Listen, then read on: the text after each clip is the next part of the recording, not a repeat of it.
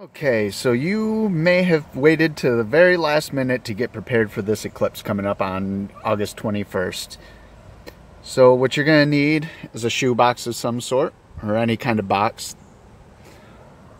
Um, then you're going to need something to cut with, a sheet of aluminum foil, a pin, a piece of paper, and some tape. So the first thing we're going to do is we're going to cut a hole on one end and then on that end where we cut that hole we're going to place the aluminum foil over it. Now I've got the hole cut out on the end of the box I'm going to take the aluminum foil and I'm going to tape it on the outside of the box covering this hole. It doesn't need to look pretty it just needs to be functional. Alright, the aluminum foil has been taped to the outside of the box. Next step, I'm going to take this sheet of paper and tape it right there on the inside of the box.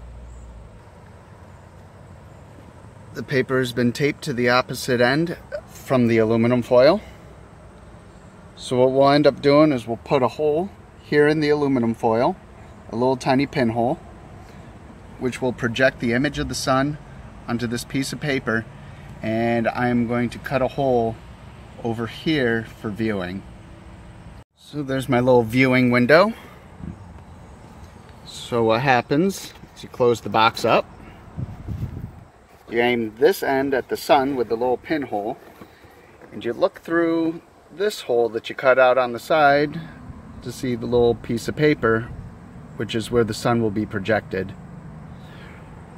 Right now it's a little cloudy, so I can't really do an example yet. Cloud should be moved soon, so I'll do a, a test example in a minute.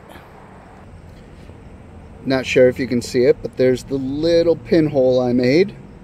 And the sunlight's going to go through that and project onto the white piece of paper that I taped into the back. So now I'm just waiting for the sun and we'll do a demonstration.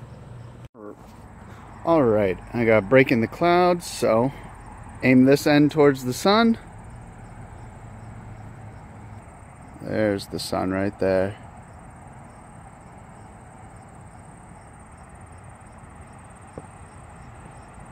And that's how you're going to view the eclipse. You can see the clouds just covered it. Yeah, it doesn't look like I'm going to have a long enough break in the clouds here. This box may not have been the best box to make the eclipse uh, viewer for. As you can see, there's hole along the edge which allows more light in. Kind of washes out the sun a little bit. I mean, if this is all you got, it'll work for viewing the eclipse.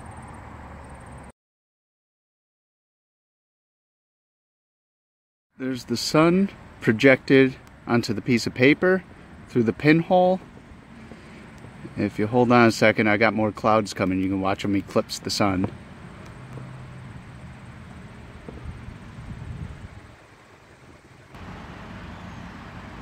There's the clouds covering the sun.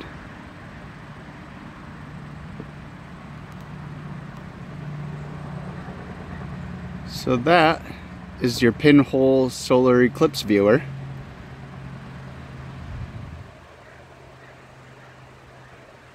See if the sun pops back out. Yeah, there it is.